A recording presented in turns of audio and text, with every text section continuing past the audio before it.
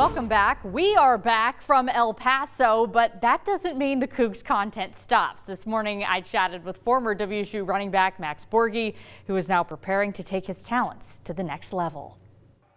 Hasn't really sunk in that I'm really training for the NFL even. It's all kind of surreal. Max Borghi is now trying to make the surreal a reality. He believes he has even more to show to the world than what he did at WSU.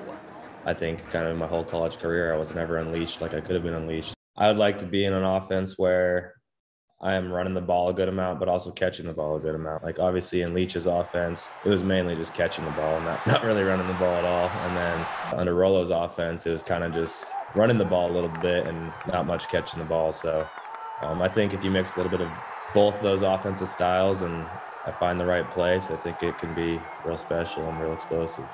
That explosiveness, though, some others doubt, like NFL scouts. That only motivates him more.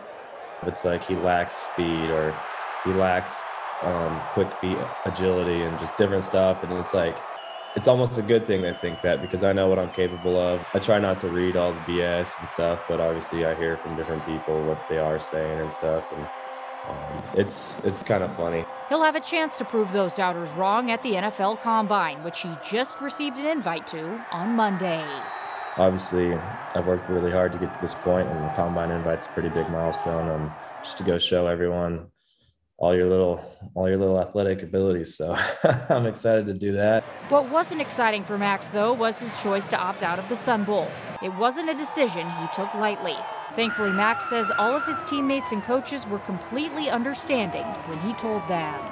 That was obviously a really tough decision. Um, I'm a team first guy and I love my teammates and I've been through so much with my teammates, but looking at looking at my future and everything, um, obviously three of my starting alignment that I've been playing with this whole season, um, injuries, transfers, opt outs as well. So um, without them, I'm, without them, I'm really nothing, in my opinion. Um, so it was it was just it was a tough decision, but at the end of the day, I, I, looked at it and said, "Hey, I can I can go start training early and get ahead of people and get get going on my dreams and my goals." The place that gave him the opportunity to go get those dreams and goals, though, was WSU.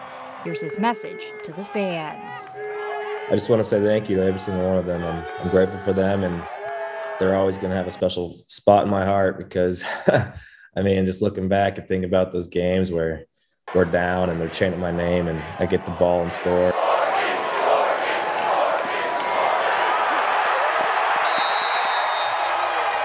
Being a Coug is special, and only Cougs know what being a Coug is all about.